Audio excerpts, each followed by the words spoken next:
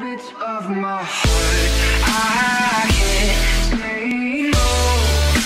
It's ripping What's up guys, it's MC Brad and today I nearly hit a nuclear. I was one kill off and I was I was grinding for this for a while. And for one kill off it really annoyed me.